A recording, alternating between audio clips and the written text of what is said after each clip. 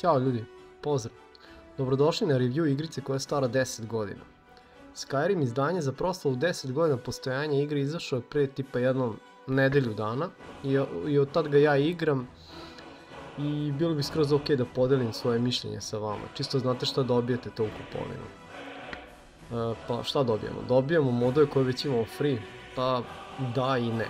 U stvari dobijamo sve što je ikada izašlo kao DLC kao mod u Creation Clubu i dosta toga je ubačeno iz Bladesa, kao na primjer neka oružja, neki oklopi.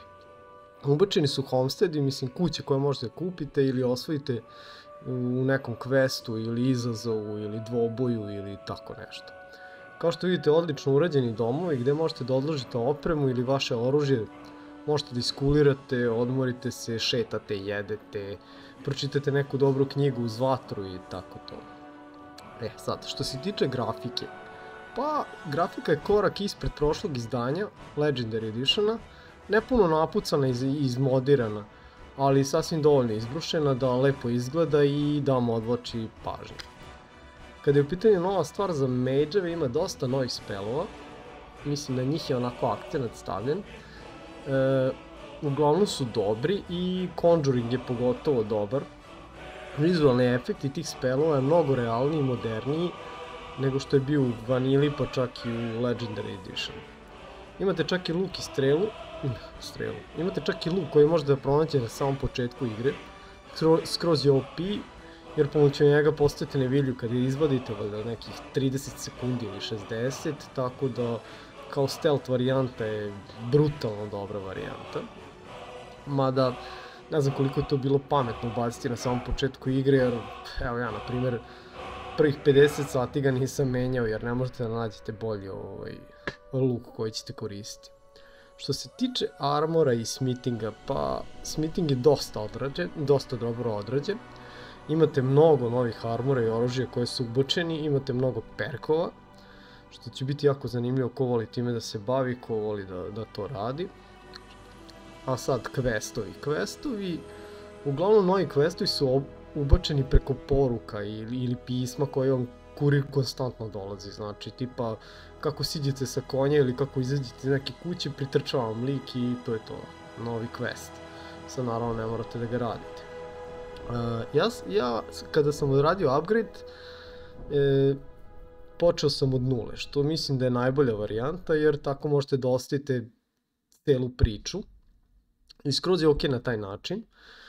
E, mada mi se desilo da sam recimo u prvih desetak sati imao preko 100 kve, mogućih questova, što, što mi je pismonoša donosio, toliko sam pokupio i po tim raznim, ajde da kažemo, birtijama. e, malo mnogo bačeno u prvih par sati igre, bar po meni.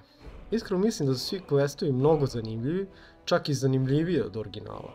Doduše, ako želite lo, ako želite, mislim, ako volite lore i želite da, da, da proučite ceo taj quest pre što krenete na njega, imate dosta da čitate. Ali opet ako želite samo akciju, point će vas odvesti tamo gde treba da idete i bit će samo ono slash i, ostalo. Što se tiče povezanosti questova sa armorem i oružjem novima koji, koji su ubačeni u igru, pa da, dosta su povezani, Kao što sam rekao, uglavnom nove stvari će vam pasti u ruke kao nagrada za neke questove. Mislim da je to odlično urađeno. Iskreno, igram već par dana, kao što sam rekao, i uopšte nemam neku potrebu da ubacim nikakav mod, jer u principu ima toliko novog sadržaja i to kvalitetnog da nema potrebe menjati bilo šta za sad.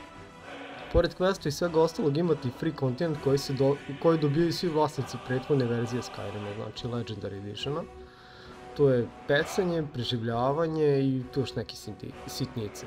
U taj free paket uključen je i quest Stains and Seducers. Nije baš običan quest, više deluje kao neki DLC koji nam dolazi kao ekspanzija od Oblivion.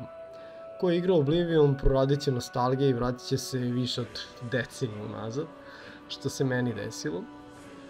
Pa sad, ajde da kažem nešto o pecanju.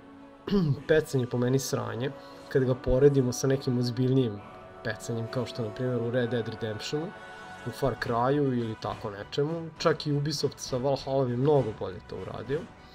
Ovde samo spamujete jedno dugme kao retardirani, ne možete pomerati iz mesta i mislim da je pecanje jedna stvar koja mi se uopšte ne sviđa, pored preživljavanja. o, o čemu ću sad reći. Pa iskreno, i preživljavanje na kraju ispada neki, ajde kažemo, promašaj. Ali samo eto iz dva razloga. Prvi i najveći razlog je hrana. Totalno retardirano. Trebate da jedete svake dve sekunde ili oni stejci non stop padaju kao ludi. I tipa treba da pojedete 20 sirova, 10 veknih hleba, 50 paradajza, da biste se malo utolili u glad. Mislim, kako to ima smisla? Ostalo je ok, nema fast travela, smeta vam hladnoća, morate da spavate i tako to i tako to. To, je, to mi se skroz svidelo, mada mislim da je ova glad totalno game breaking stvar.